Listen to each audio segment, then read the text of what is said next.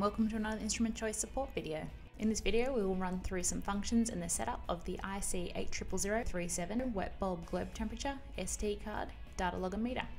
The IC800037 measures indoor and outdoor wet bulb globe temperature, wet bulb temperature, dew point, humidity, air temperature and black globe temperature.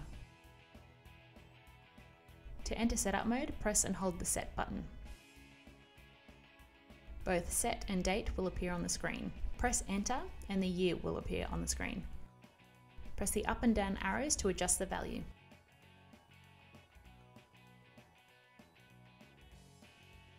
For the remaining month, day, hour, minute and second, press the up and down arrows to change the values and enter to accept.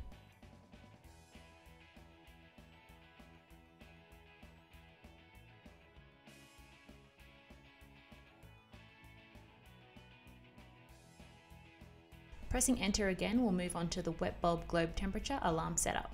Press the up and down arrows to adjust the alarm value, then press enter to save the value.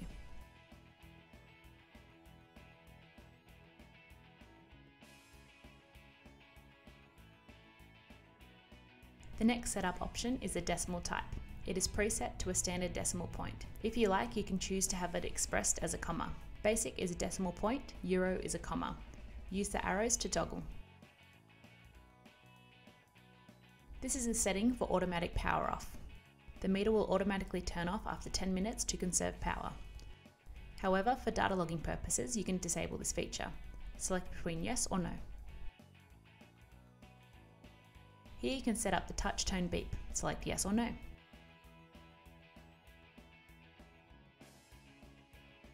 Select the temperature units between Celsius and Fahrenheit. Toggle up and down to select. This screen is for the selection of sampling time. This is the time allotted between successive measurements. Press up and down to adjust the value and enter to accept.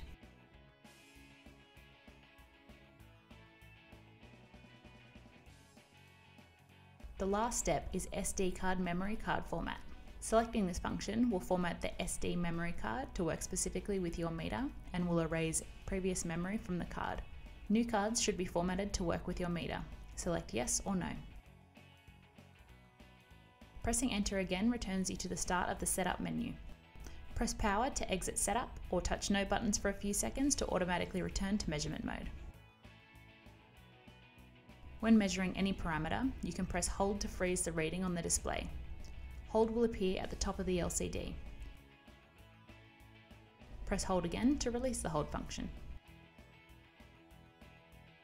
To record maximum and minimum readings in any parameter, press the REC button. REC will be displayed at the top of the LCD.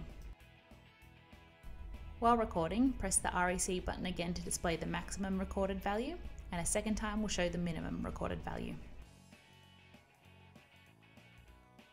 To delete the maximum and minimum values, press hold.